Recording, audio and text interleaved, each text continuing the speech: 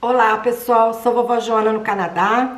Estou aqui para gravar mais um vídeo para esse canal. Espero que vocês fiquem até o final do vídeo, deixe o like de vocês, se inscrevam no canal. O canal está crescendo de vento em popa e vovó Joana no Canadá, ó, fica feliz e agradece, gente. Muito obrigada a todos vocês pelos comentários, muito chique. Então, gente, agradeço muito a cada um de vocês. Esse canal foi criado para vocês, não para mim. Se vocês quiserem saber curiosidades do Canadá, coisas, lugares, deixa aí nos comentários, ok? Que à medida do possível a gente vai fazendo aí mais e mais vídeos. Bom, pessoal, agora é o seguinte, nesse vídeo aqui eu vou dar um update da minha vida, do meu trabalho no Canadá, do que tá acontecendo acontecendo comigo. Por quê? Eu peguei os bancos para fazer da Nathalie enquanto ela estava no Brasil no mês de dezembro e janeiro. Então, teoricamente, era para ter acabado agora, já era para eu estar livre dos trabalhos. Mas conversei com a Nathalie e achei que seria viável eu continuar mais um mês no Canadá. Por quê, gente? Vou explicar para vocês nesse vídeo porque tem gente que não me entende. Eu recebo assim inúmeras mensagens do pessoal me pergunta assim, Joana, por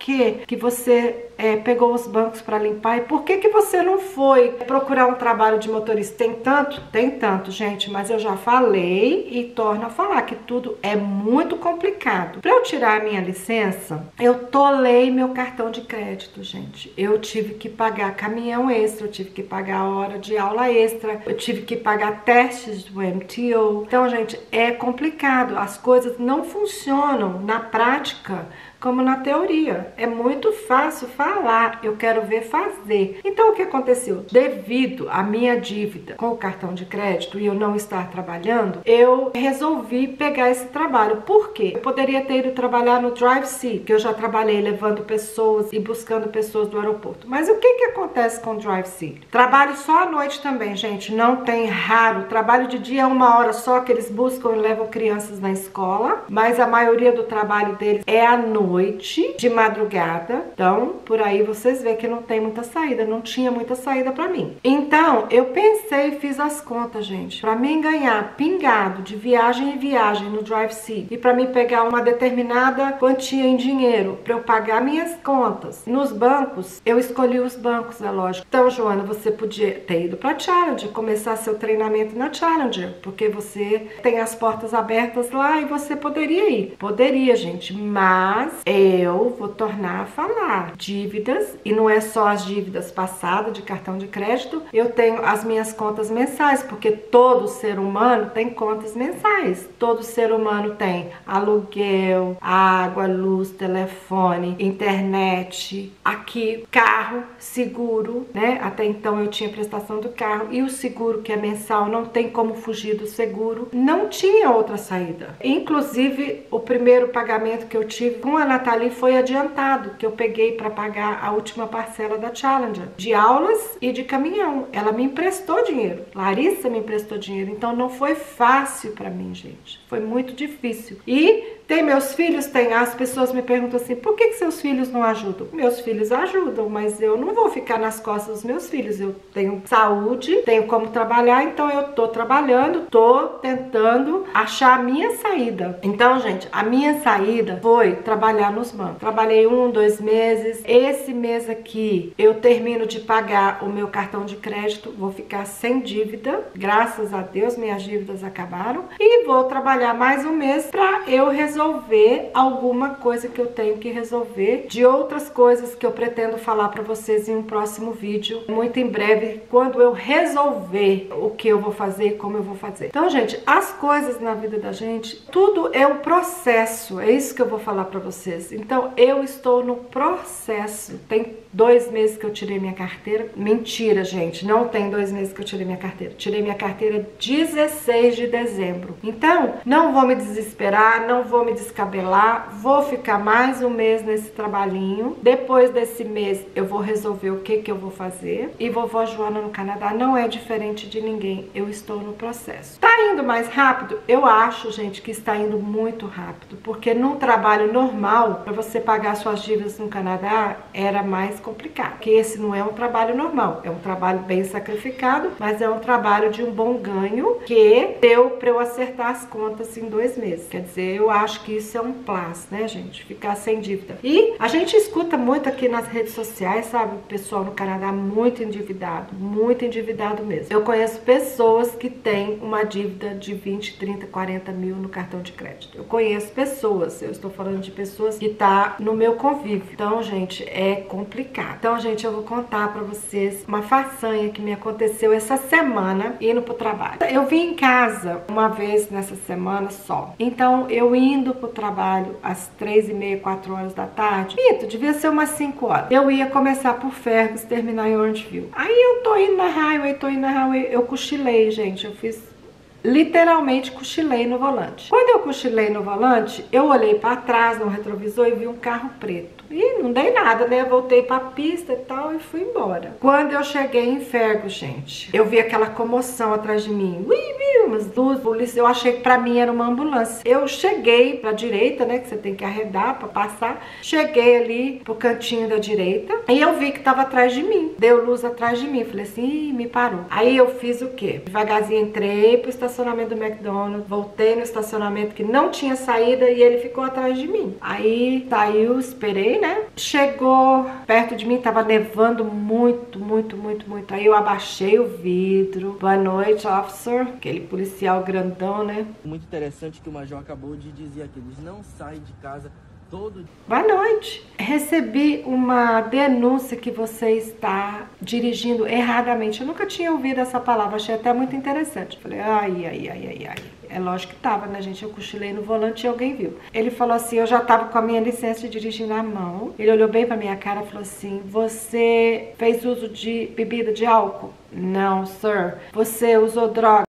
Não, sir. Aí ele olhou para mim bem no meu olho, olhou pro carro, porque eles olham, quando eles param a gente, eles olham a gasolina do carro, eles olham o dashboard do carro, né, o painel ali, e olhou a rádio que eu tava ouvindo, ele olhou para baixo, pegou a minha carteira de motorista e falou assim: "E o resto da sua documentação?". Dei lá para ele o, documento do carro, o documento do seguro, e assim ele foi embora. Foi embora, gente, demorou 45 minutos. Eu, eu falei com Larissa que ele deve ter ligado até para minha mãe no túmulo, porque demorou, mas demorou, mas demorou. Eu fiquei até meio assim, né? Eu falei, nossa, tá demorando demais. Aí volta ele, baixou o vidro, falou assim comigo, all clear. Eu falei, ah, all clear. Não tem nada na sua habilitação e eu testifico que você não bebeu. Posso ver claramente que você não bebeu, que você não está on drugs. E posso perguntar para onde você está indo? Eu falei, pode. Eu tô em Fergus, eu vou fazer os bancos de Fergus e vou para Elora fazer o banco de Elora. Ainda vou para onde viu fazer os bancos de Orangeville. Ele virou para mim e falou assim, se eu fosse você, eu não ia para onde viu, porque está nevando mais do que aqui e as estradas estão muito ruins daqui para lá. Se o seu problema foi a muita neve, porque eu falei com ele, falei assim, ah, talvez eu fiquei um pouquinho distraída pela neve que tá caindo, que tava caindo neve demais, gente, horrores. Já tava assim, aquela escuridão, já tava noite, né, 5 horas da tarde, noite. Então, ele falou assim, bom, se você está concerned about the snow,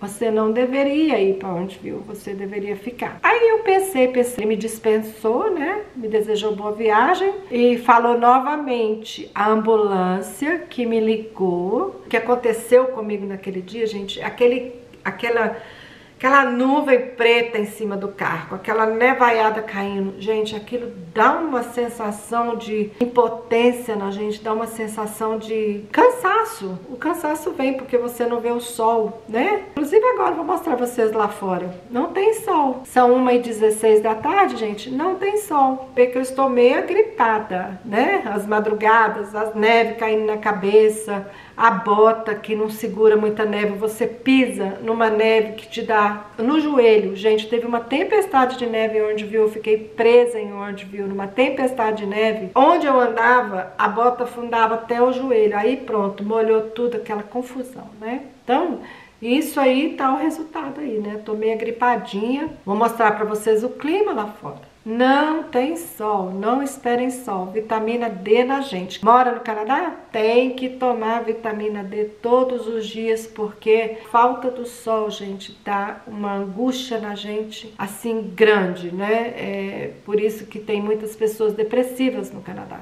falta do sol, falta de exercício físico fora de casa, né? A moda aqui, o moda não, né? O normal aqui é você ir pro gym, você vai pra academia todo dia, e lá na academia tem todo aquele aparato para você fazer o seu exercício. Mas o que que falta, gente? Falta o sol, o natural de Deus, né? E falta para muitas pessoas também, gente, falta muita afetividade, né? Porque a gente não tem assim contato. Família da gente, por exemplo, né? Aquelas pessoas que a gente sabe, que a gente tem certeza que são pessoas que amam a gente. Então isso também faz muita falta aqui no Canadá. Agora, eu, falando aqui pela minha casa, pela minha família, graças a Deus, nós temos a igreja que nós congregamos muito pequenininha, Discípulos Canadá. A gente tem muito amor, muito calor humano uns pelos outros. Então, gente, é a nossa família no Canadá, é a igreja. É a Natália Pastora, é o esposo Bruno e cada um que está lá. Eu tenho muito carinho por todos. E todos têm muito carinho por mim. Só a vovó Joana da igreja, né? Lógico. Isso aqui, gente, foi só para para me dar um update, porque o pessoal está querendo saber quando que eu vou começar a dirigir um caminhão, quando que vai ser a minha estreia no caminhão. Eu tenho vários vídeos que eu quero fazer no caminhão.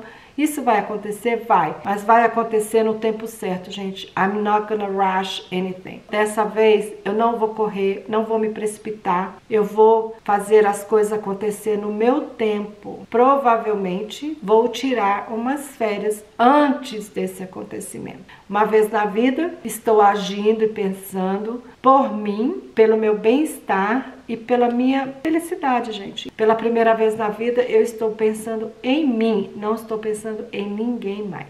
Provavelmente vou trabalhar esse mês e vou tirar, vou deixar um aluguel pago, vou deixar minhas contas pagas e provavelmente vou tirar umas férias. Vou mostrar para vocês lá fora que vocês devem estar curiosos ver, nunca viram, né, gente? Muita neve. Ai, nossa, muito branco, sem sol. Vou terminar por aqui esse vídeo. Eu só quis conversar um pouquinho com vocês o que eu estou fazendo por aqui. E continua tudo na mesma, gente. Continuo trabalhando, continuo me esforçando, continuo lutando. O dia enquanto Deus me der vida e saúde, tô lutando. Sem mais para esse vídeo, vou deixando aqui aquele forte abraço para vocês. Um beijo no coração de cada um de vocês. E tchau, gente. Muita saúde, paz, amor para todo mundo, para vocês, para a família. Deus abençoe e até o próximo vídeo.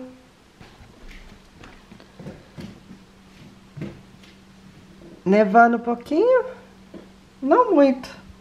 Isso não chama neve, gente. Isso chama flores. Flores. Flores. Meu carrinho parado aí, o carrinho da bênção, graças a Deus. E tá aí, bastante nevinha no chão. A janela dos fundos. Meu quarto é privilegiado, tem duas janelas, gente. Muito chique. Cadê o sol? Não tem sol. Sol, não tem sol, não tem sol. Vamos tomar vitamina D.